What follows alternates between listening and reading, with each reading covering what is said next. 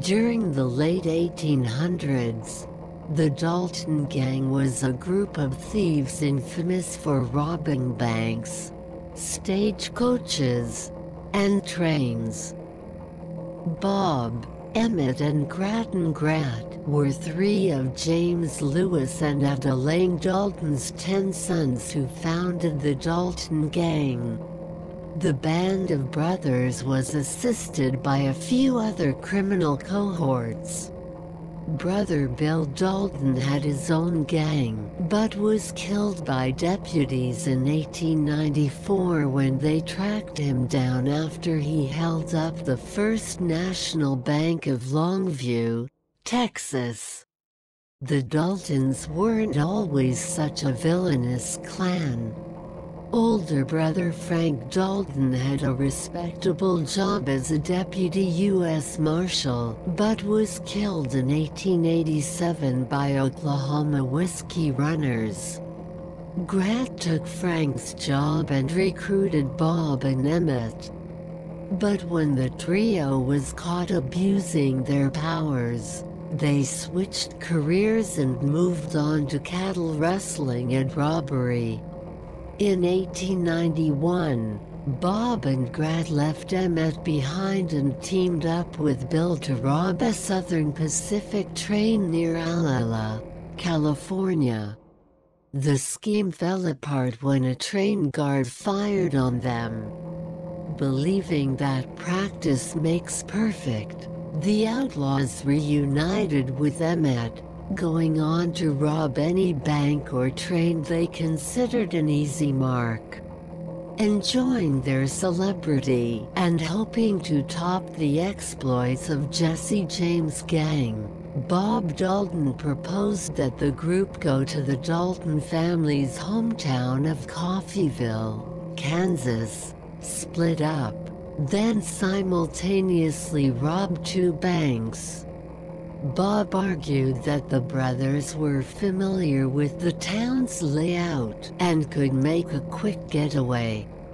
Emmett opposed the idea, saying that he'd attended a nearby school and would be recognized. He also worried that old friends might be injured or killed. Disregarding Emmett's pleas, the group forged ahead. Emmett and Bob continued to argue about the plan even as the group rode into town on the morning of October 5, 1892. The Dalton gang soon discovered their grandest holdup would prove to be as disastrous as their first. As they entered Coffeyville, they'd planned on tying their horses up just behind one of the banks. But when the men arrived, they discovered the hitching post had been removed, forcing them to tie up the horses in an alleyway. It didn't take long for the Daltons to be recognized as townspeople began shouting the Daltons are robbing the bank.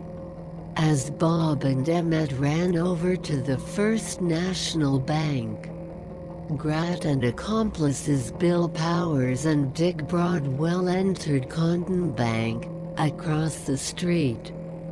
Before either group could flee, townspeople were shooting at the robbers through the bank's large glass windows using rifles, guns, and ammo supplied by the local hardware store. In less than 15 minutes, Coffeyville's citizens had killed all of the men except Emmett, who was wounded. Emmett succeeded in getting into the saddle, but not until he had received a shot through the right arm and one through the left hip and groin. Coffeyville Journal editor and eyewitness, David Elliott wrote, Emmett survived and served 14 years in prison for the crime. Four locals also died during the shootout. People flooded Coffeyville looking to cut off pieces of the dead men's clothing, saddles and hair from their horses' manes and tails as souvenirs.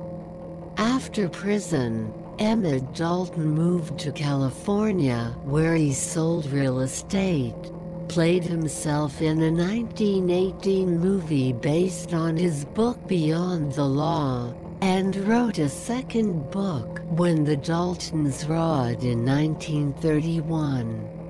He died in 1937 at the age of 66.